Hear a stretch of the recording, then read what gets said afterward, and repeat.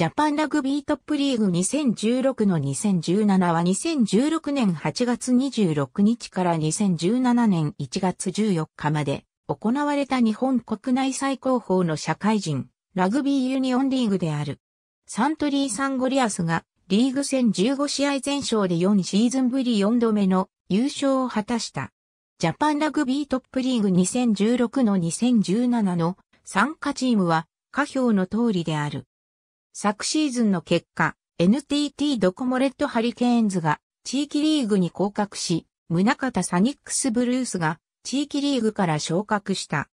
本年度から大会の方式が2019ラグビーワールドカップの開催を念頭においてトップリーグを世界基準のリーグ戦にするための競技力向上を進めていくとともにサンウルブーズが出場するスーパーラグビーのルールを一部準用するなど大幅に改正された。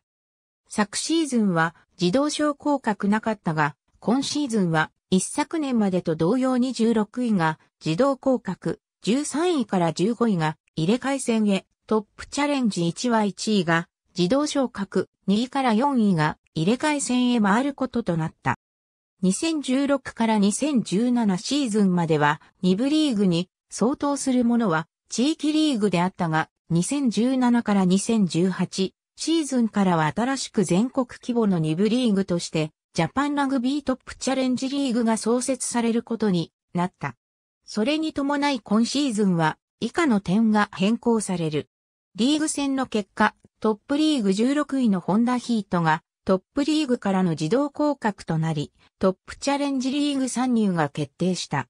以上の結果、1位日野自動車レッドドルフィンズのトップチャレンジ 1A の進出、及び2位の中部電力、3位の中国電力の来期、トップチャレンジリーグ参入が決定した。以上の結果、1位、NTT ドコモレッドハリケーンズのトップリーグへの自動昇格及び2位、以下3チームのトップリーグ入れ替え戦出場が決定した。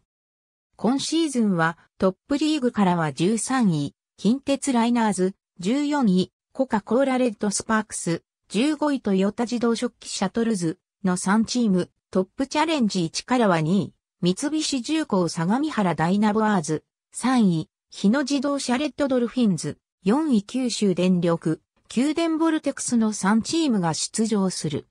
なお前述した通り、トップリーグは負けた場合、トップチャレンジ1は、負け引き分けの場合トップチャレンジリーグ参入となる。入れ替え戦の結果、近鉄ライナーズ、コカ・コーラレッドスパークス、トヨタ自動織機シャトルズのトップリーグ残留、九州電力キューデンヴォルテクス、日野自動車レッドドルフィンズ、三菱重工相模原ダイナボアーズのトップチャレンジリーグ参入が決定した。上述の通り、2017から18年度シーズンよりトップリーグの2部組織としてジャパンラグビートップチャレンジリーグを新設するにあたり、各地域リーグの2016から2017シーズン3位クラブの3チームを対象としたジャパンラグビートップチャレンジリーグ参入マッチを3チームによる1回戦争あたりで行い、1.2位のクラブが2017から2018シーズンよりトップチャレンジリーグへ参入する。以上の結果、1位釜石シーウェイブス RFC、2位松田ブルーズーマーズの来季トップチャレンジリーグ参入が決定した。2016から2017シーズンの年間表彰式は2017年1月15日に実施された。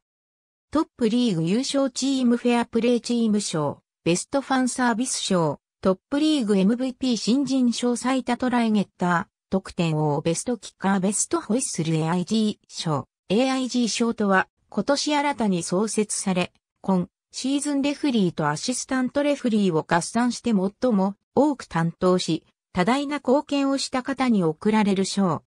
8月26日に開幕。ジャパンラグビートップリーグ2016から2017、3地域統一リーグ、ジャパンラグビートップチャレンジリーグの創設並びに概要について2017から2018シーズン全体イメージ図。ありがとうございます。